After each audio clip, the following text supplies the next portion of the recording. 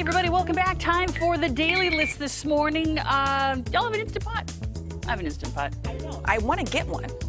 I just haven't gotten around to getting it. I got one. That was my birthday. They've been around for years, though. Yeah. They really, really, really caught on last fall and over Christmas. I just realized I have a typo on my thingy, but that's okay. Uh, they're great for a lot of things rice uh, and uh, chicken, and you can make desserts and things. But on the daily list this morning, three things you might want to skip putting into the Instant Pot. Really? For best results. Number one, fried chicken. Oh. Instant Pots do moist and they do cook, but crispy doesn't really seem to be its thing. It's great for soups and stews, sauteing before you put the lid on, uh, but a lot of moisture builds up with all that steam. If you haven't, you know, after, even after you release all the pressure, you open it up, a lot of water comes off the lid. Not the best environment for anything fried. So skip the fried chicken and all the other fried stuff. Number two, uh, loaf of bread.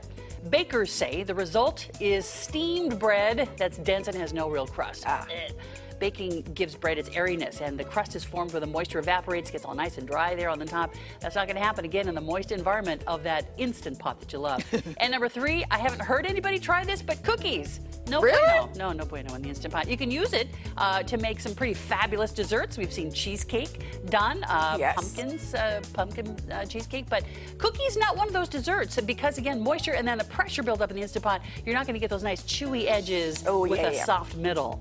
I need my chewy edges. You got to have your chewy edges, right? you got to, got it. Uh, plus, you're not going to save any time either. A batch of cookies in the oven can cook in less time than it takes your instant pot to actually reach pressure. Oh. Uh, just 10 to 12 minutes. So when you see instant, instant pots can be a little misleading when they say, "Oh, you can have this in four minutes." Right. Well, it takes a good 10 minutes or so to, To ramp, ramp up, to pressure. Yeah. Then the cooking begins. Then it's got to depressurize. Ah, you can let the Okay. steam out of the top, but you want to let it kind of sit for a little bit. So it's a little misleading. Okay. But it is, okay. is, you Good know, a set it and forget it kind of thing. Yeah. That I do like about it. But just no bread cookies or fried chicken. uh, for other things that really just don't go in an Instant Pot, it doesn't really work, go to gooddaysacramento.com, click show info there at the top of the page, and then today's date. Right on.